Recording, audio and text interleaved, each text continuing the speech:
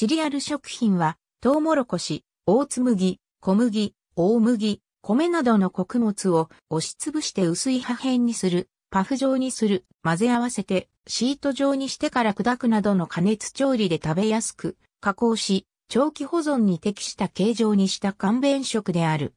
シリアルは穀物、または穀物の加工食品の胃。主に牛乳やヨーグルトなど乳製品をかけて食べることが多い。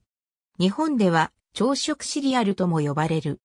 調理せずにすぐ食べられるコールドシリアルと加熱調理する必要のあるホットシリアルに大別される。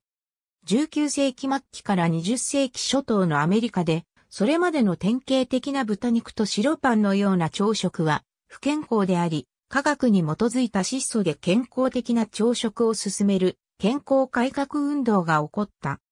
この運動は科学者の権威を使った食品業界のキャンペーンだったが、ピューリタン的道徳心と結びついて、菜食主義の熱狂的な流行へと発展した。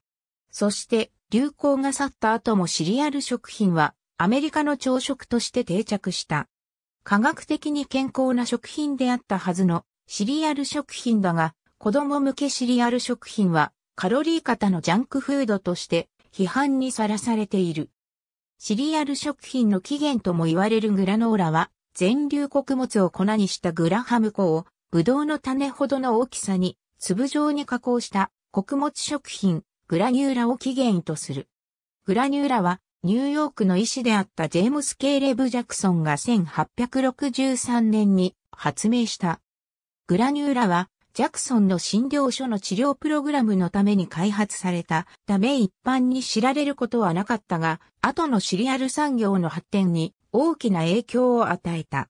また、ほぼ同時期に穀物を主とした自然健康食品として、スイス人医師マクシミリアン・ビルヒャーベンナーがミューズリーを発明した。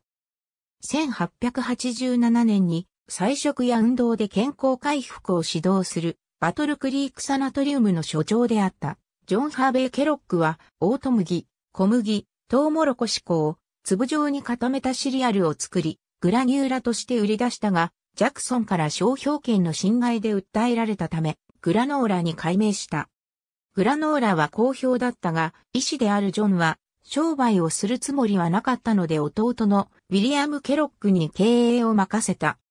二人がさらに研究開発を進めた結果、1894年に今日の姿に近い小麦フレークを完成させ、1898年にはコーンフレークを作り出した。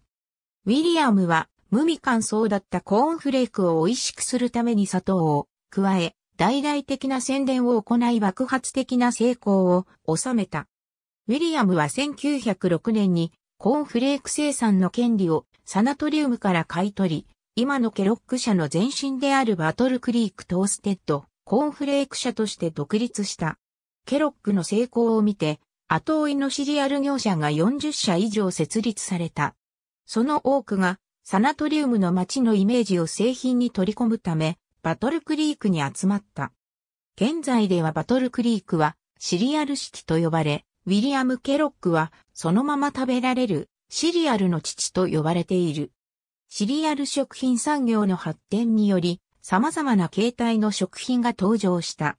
シリアルを固めてそのままかじれるようにした。シリアルバー。その他クッキーやビスケットにシリアルを練り込んだものや、シリアルをチョコレートコーティングした。菓子類、一口大に固めて食べやすくした。ビッツ、またはバイトと呼ばれる形状など、カップタイプの古食やスープに合う。塩味のシリアル食品など多数存在する。